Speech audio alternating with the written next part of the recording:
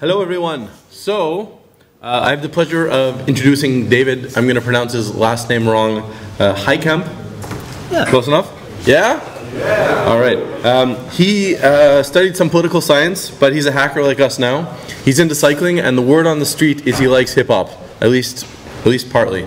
So uh, please give him a huge round of applause, uh, and uh, let's hear what he has to say. David.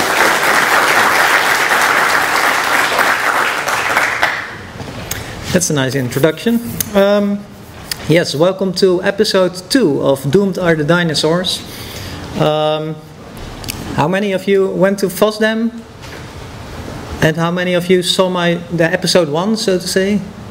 Oh, that's a small number, so I'll, I'll, uh, I'll do episode one, kind of uh, what happened in episode one. First of all, in episode one we saw uh, Trix, our T-Rex being introduced. Trix uh, lived 66 million years ago and uh, is now one of the main attractions in our Natural uh, History Museum in uh, Leiden, Naturalis.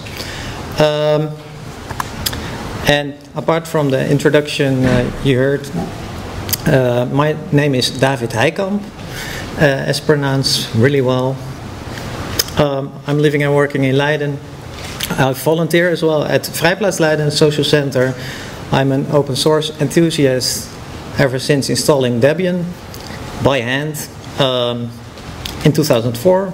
And this is my third year in config management camp, so uh, it took me nine years at FOSDEM to give a talk, and uh, this is the third year config management, so that's going quite well. If you want to get in touch, you can send a mail.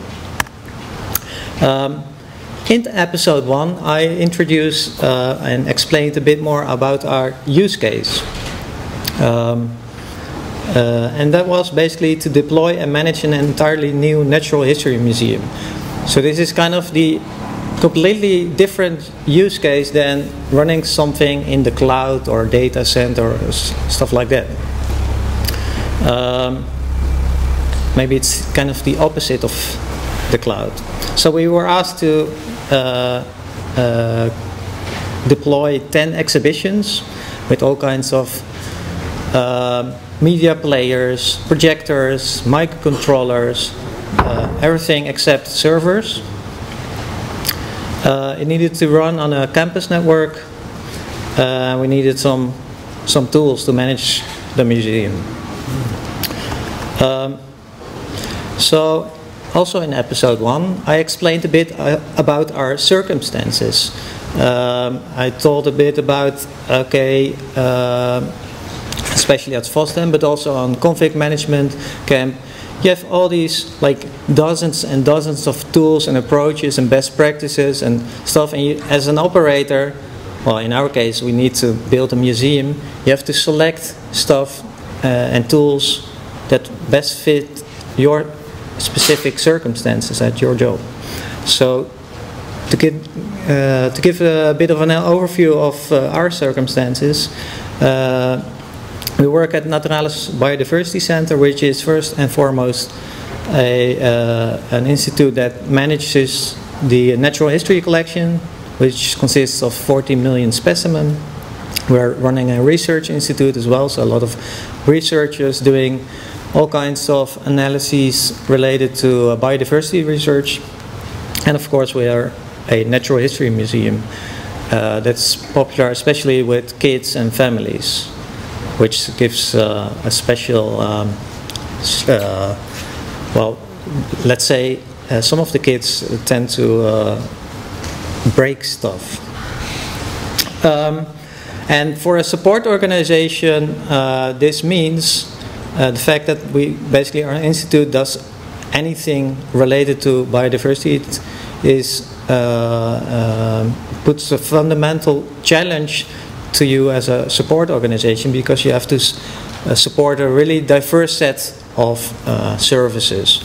On the one hand, kind of running a cloud for uh, research analyses, HPC kind of workflows, and on the other, uh, doing media shows and stuff like that.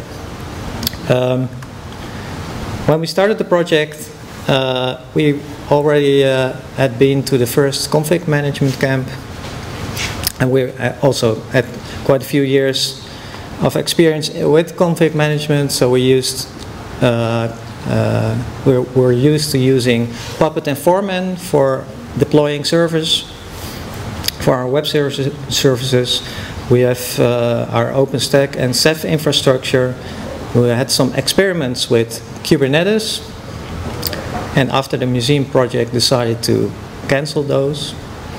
Um, um, uh, we have a team of 35 uh, people working in the IT department, I think, and some of them are operators, some of them are developers, we have some support staff, and as I said, we have to kind of managed really broad set, so Kubernetes was a bit too tipping us over, so to say. Uh, and we had some uh, experience, for example, with analytics tools like Sensu, ElkStack, and Grafana. Also an important uh, aspect uh, when building the museum um, was that it wasn't, wasn't ready yet. So in this picture you see the actual building being constructed. The part on the left is the, uh, an entirely new building for the museum, but the project was already started to actually build the, build the museum and all the exhibitions. Um, and for example, um, we had to also work with uh, suppliers really um, uh, fixated on proprietary solutions. So typically in the mu museum world, you have uh, several companies in, the, in, in Holland that are really focused on building museums, and they're really used to um, yeah bringing in their closed, source uh, equipment. Uh, basically every setup is kind of special, considered as a special. So this whole cattle versus pets kind of debate, uh, uh, uh, they really are not aware of, of uh, such thing. Um, so it's really the uh, stereotypical pet uh, setup. Also, in a museum there's a really broad set of technologies involved that are really different than uh, the things you see in a typical data center. And of course, we had a tight schedule. So these were all kind all a set of circumstances we had to work with. And our approach was to um, basically, in an effort to keep the diversity of technologies we have to support to keep that down, like was uh, was what was mentioned uh, this morning. Um, uh, we decided, okay, we need to build on the existing infrastructure and the know-how within the organization. Uh, also, we wanted to uh, use uh, as much as possible high, uh, high, quality open source components in our uh, museum and apply this infrastructure as code and DevOps practice to not only the, the, infrastructure but the museum as well.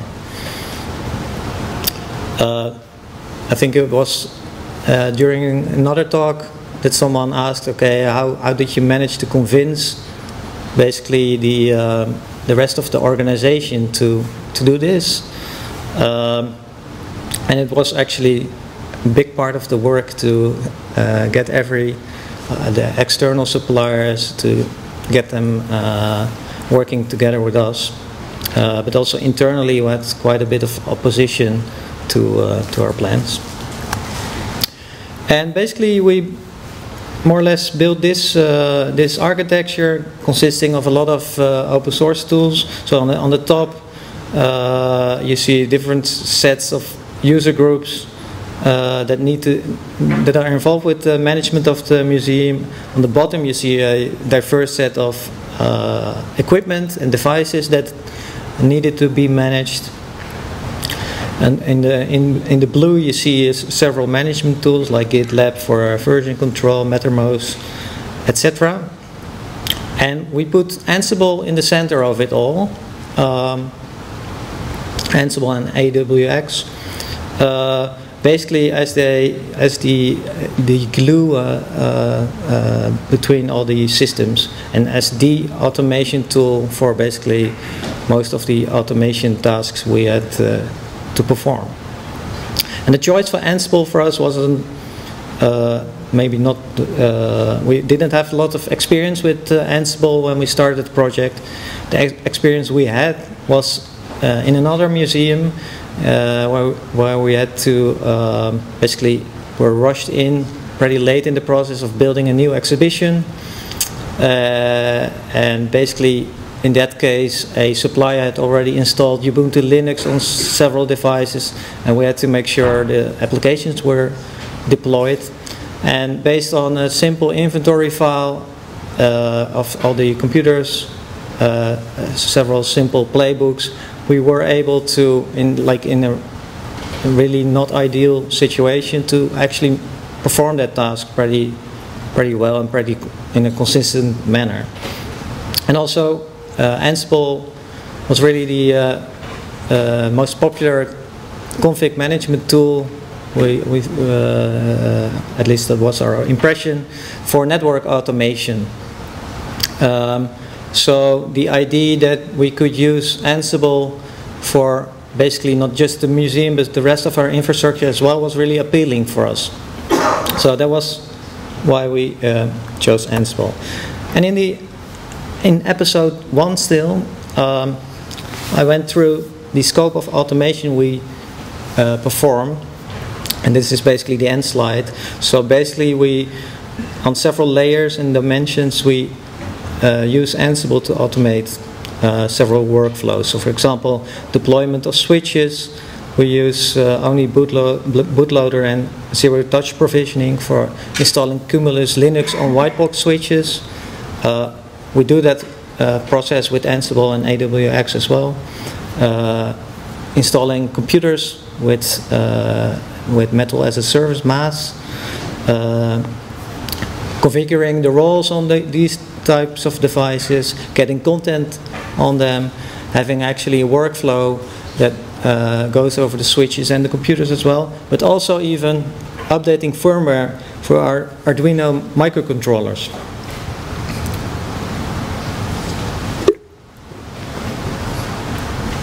Or um, getting the network network configuration for our projectors or uh, sensor checks uh, ready for, for those devices or putting on uh, the power with KNX gateways and having workflows across these different types of devices and even being able because of AWX to delegate or schedule those uh, workflows. So um, this all resulted in a, a, a, running museum. As you can see here, with games, uh, uh, projections with MPV, for example.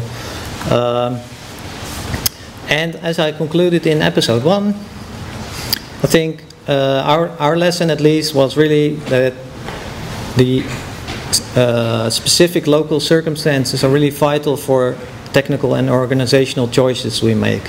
Um,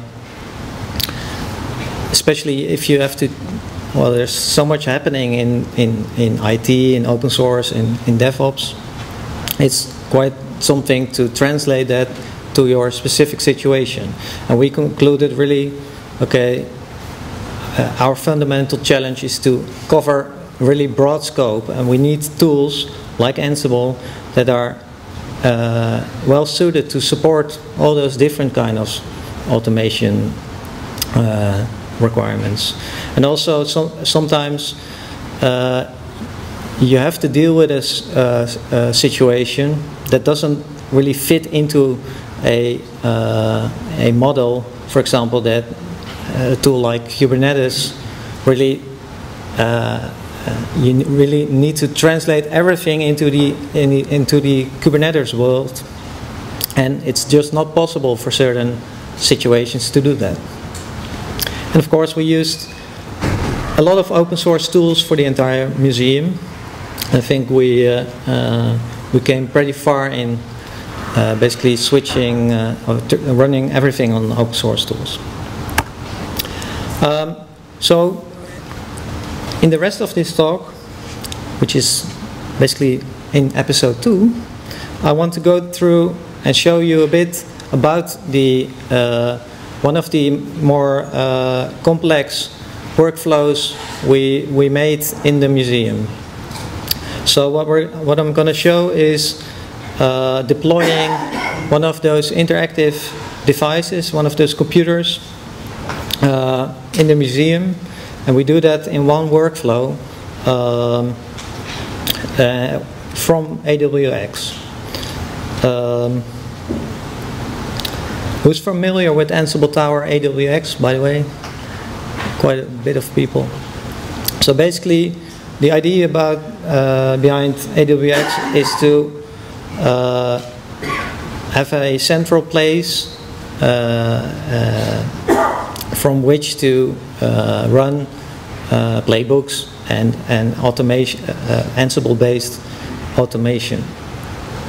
and it gives you the ability to, the fact that you work from a central place makes uh, uh, helps with getting an overview of what actually is running.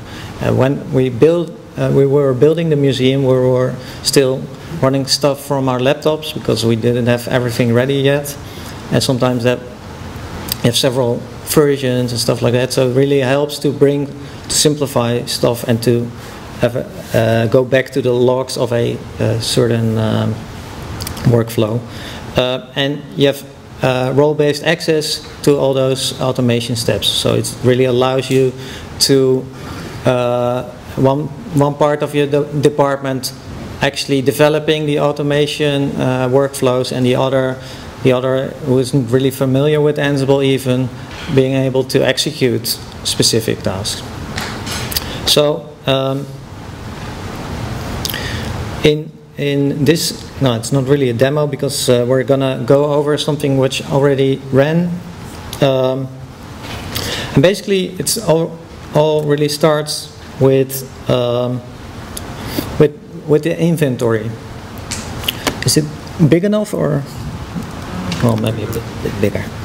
So, in our case, uh, the start of everything is uh, with the inventory. So we, ha we have an uh, uh, uh asset management tool called Topdesk. Um, and we decided, okay, we're gonna keep the inventory in a version controlled repository because we want to be, be able to, to see the changes, who made what changes, uh, and not uh, use something kind of a dynamic inventory kind of thing. So basically what we wrote is a simple script to get data from our asset management tool and translate that to host variables uh, and it's just a subset of, of the variables that, uh, that we work with. So for example in the command you see here uh, you see a specific computer um, um, Hardbank Computer One uh, with uh, mostly network related uh, uh, variables. And basically um, this is this is the uh, entire host var file for that particular computer.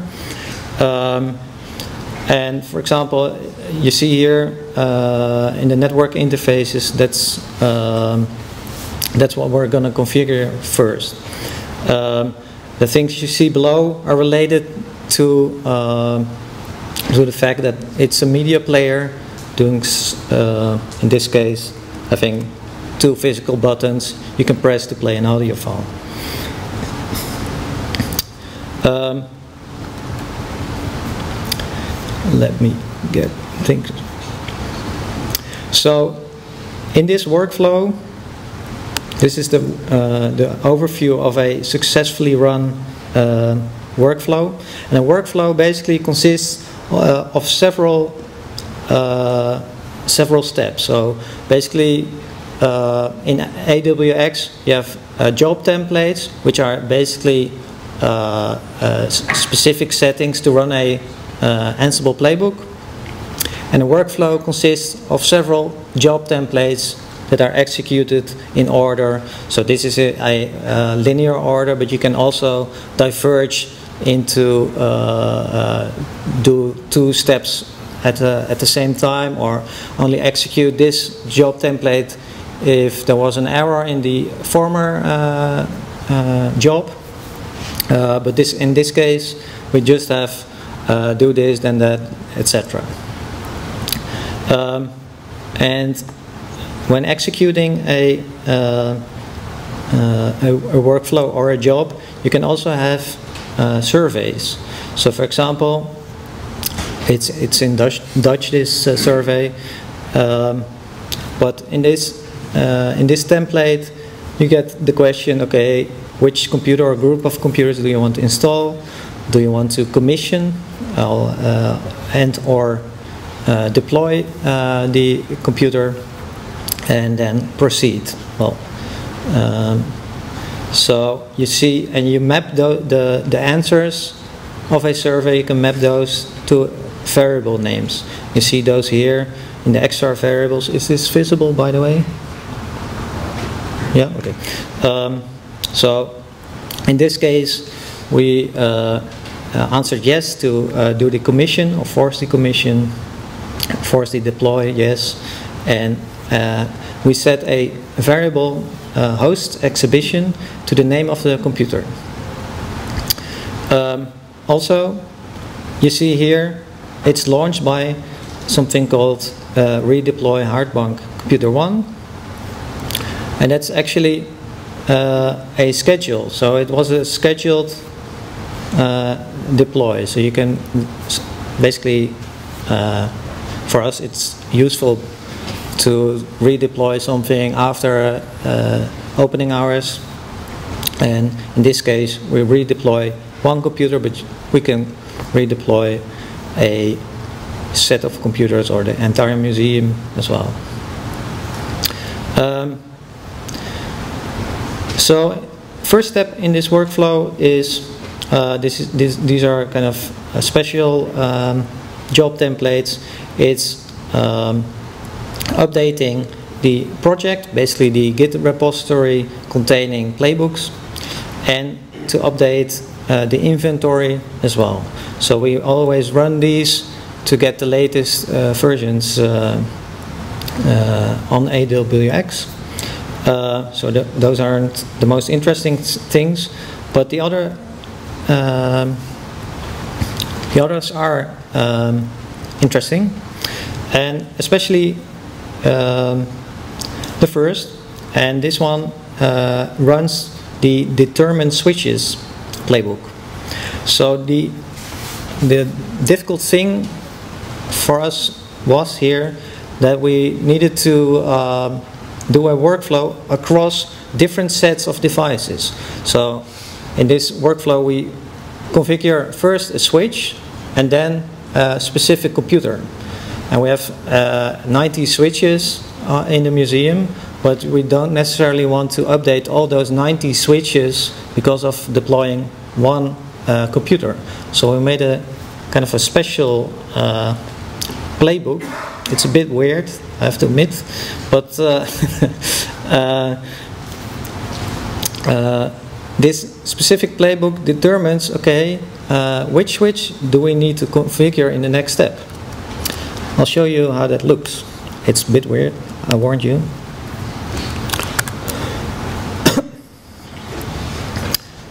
um, so probably this is what you could consider as abusing Jinja.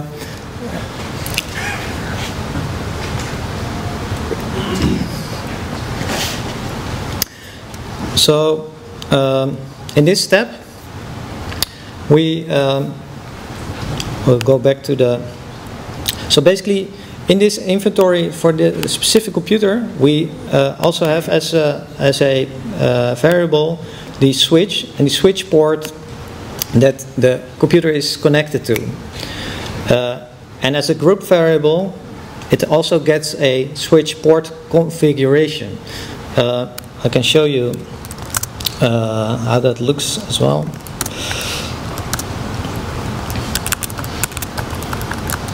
Uh,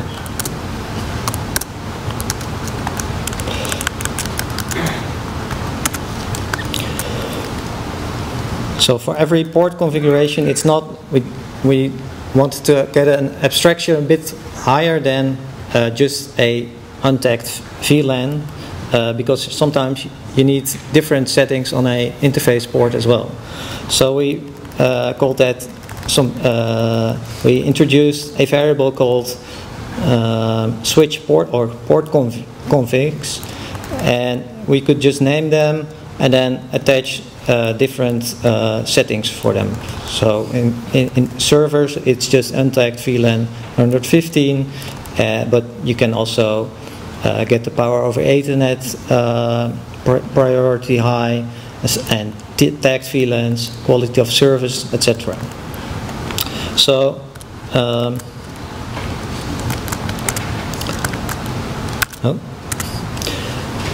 as you can see here, um, we have a, uh, oh, you can, can't see it here, but you, we have a group variables for all the computers in a specific exhibition have switch port config, uh, the name of the exhibition.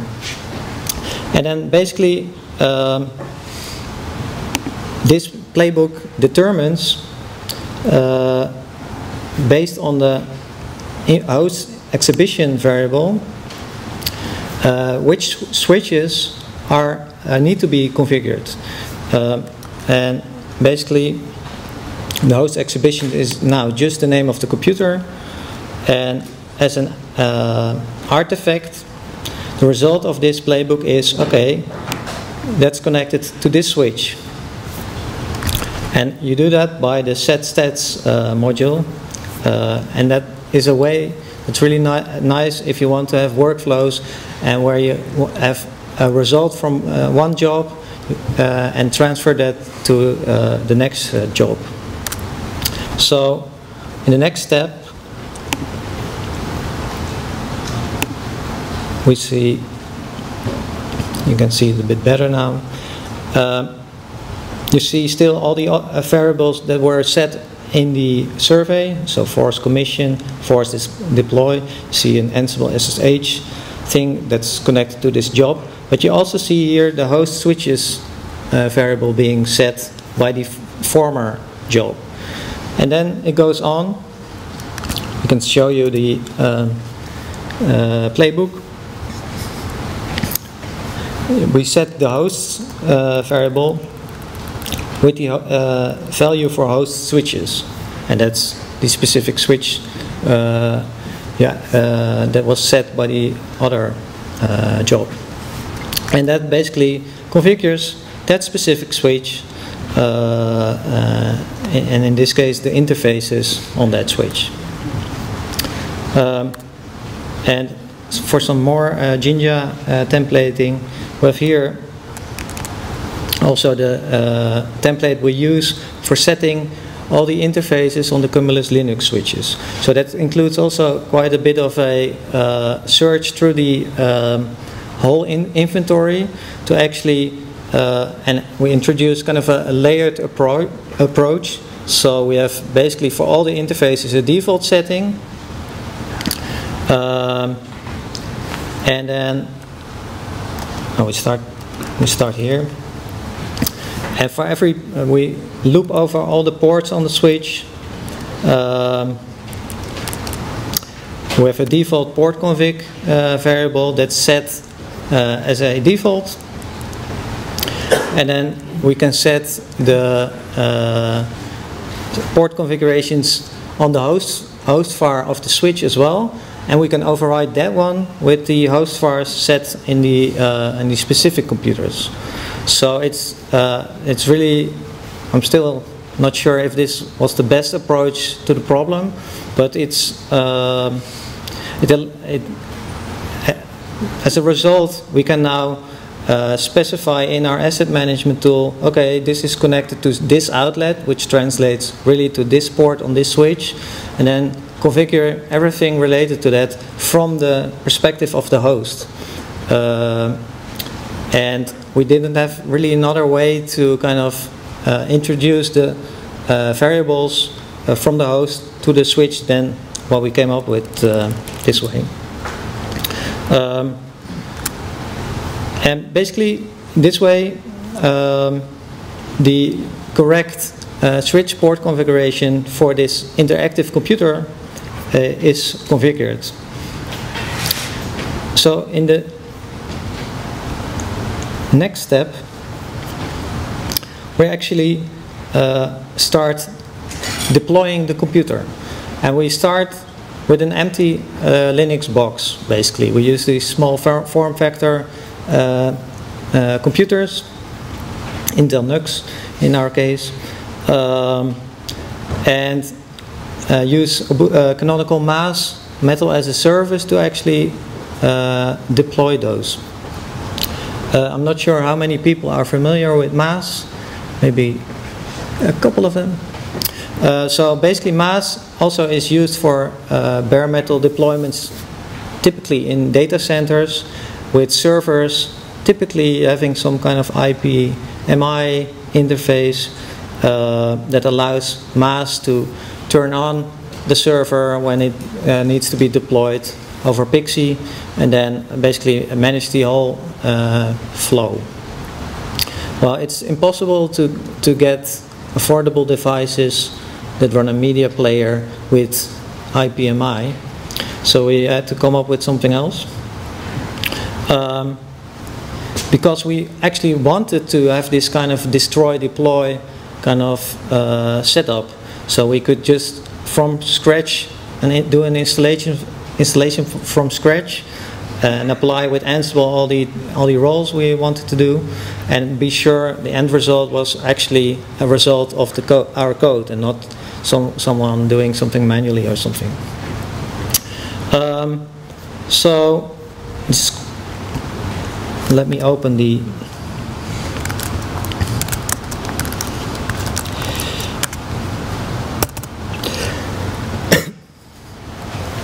So basically what we do is uh, use um, uh, Wake on LAN to turn, uh, turn on the, power on the computer and actually use uh, uh, Ansible to power off computers and uh, in the process of redeploying we use those two things to actually manage the power state.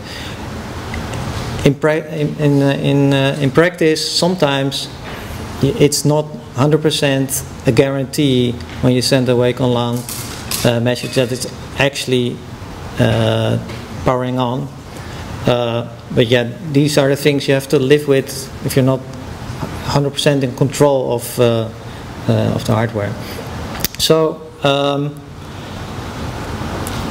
let me show you the, so here's the, the setting host exhibition is set to hardbound computer 1 and that sets the host uh, variable uh, for, for, this, uh, for this playbook. And basically we always make sure it's powered off first. And if it's not already powered off or check if it's powered off. If it's not powered off enable the wake on LAN. It's a, a kind of a weird thing wake on LAN because it can get disabled within a deployment process uh, if something fails in, in the middle. So at several stages in the process, we just enable it again to make sure um, it actually works. Uh, also, uh, some a trick to uh, power off a computer without having an error in Ansible. we use systemd run because sometimes if you just power off a computer, it's not a typical thing you do uh, in Ansible, I think. Um, but yeah, if you send the power off uh, command just uh, straight, uh, sometimes your SSH connection is already gone before reporting back. So with systemd run, uh, we can delay the power off and then report back uh, that that actually executed well, and then power off the computer. Uh, then we check if it's still in reach, of, if it's actually uh, off, then start deploying and configuring the interactives. Um, and we do that with, with MAAS. And when we started with the project, and actually we started with deploying MAAS itself with Ansible, uh, and there weren't any uh, existing roles available. Um, but it was a kind of a, a, a mind shift uh, because first when we wrote it, it was really from the perspective of MAAS. So, for example, we said, okay, MAAS deploy now these and these computers, and then uh, it would deploy a certain set of computers and then report back. But in this workflow, uh, we start from the perspective of the host. So we want to uh, with the host or the limit statement in Ansible, we want to select the set of computers, in this case one computer, and then say to MAAS, okay, go and deploy this computer and report me back uh, if it's actually deployed. So um, we had to rewrite a bit the, the, the, the role to fit into this uh, Ansible model. And basically in a um, uh, the, in MAAS, you have two steps. First, you have the commission step, and that basically uh, makes sure the uh, computer is scanned and, and uh, an inventory is made of the computer. Uh, I can show you how that looks. So this is a typical, this is a MAAS interface uh, with the page of the uh, machine. Um, and in the commissioning stage, it will get all kinds of information um, um, about the computer, actually run some, some tests as well, um, well, one test in this case. And then after it's commissioned, it's ready to be deployed, released, etc. Um, so here you see the output of an installation. Um, let me see. It's even a nice uh,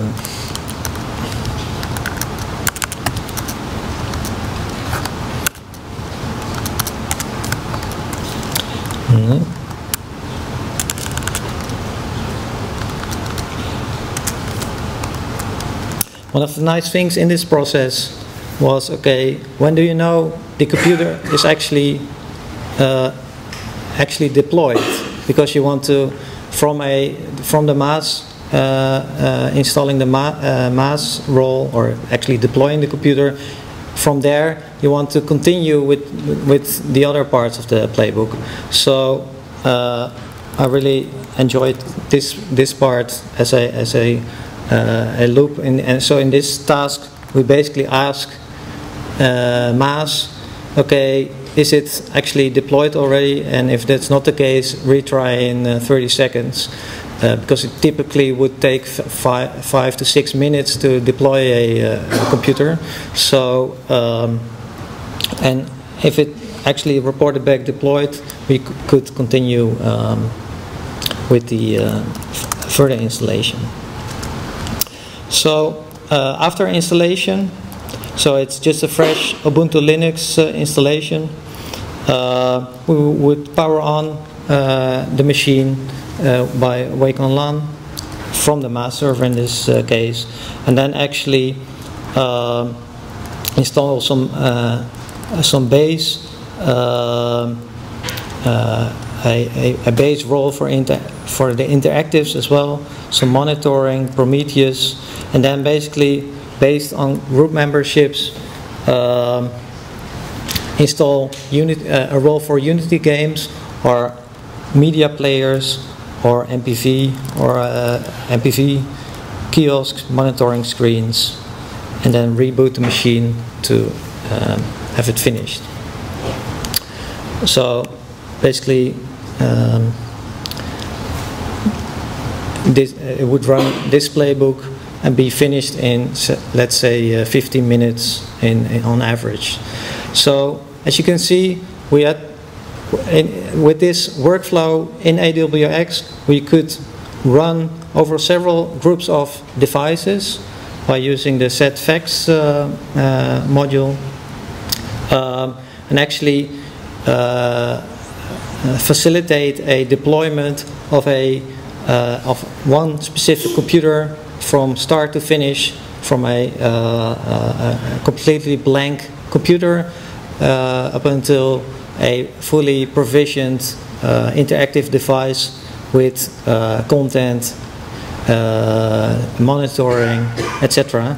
Uh, and we were able to actually delegate or schedule these uh, these workflows in this way. Um, so basically, in conclusion, um, um, we're now gonna start uh, building more and more of our infrastructure in our data center based a bit more on this model as well. But I think there's still also quite a bit of improvement to our code and, and, and things we do in the museum as well. So, um, but it really helps us to kind of get the diversity of technologies down and to keep it manageable for a relatively small team. So basically that was about it. Thank you.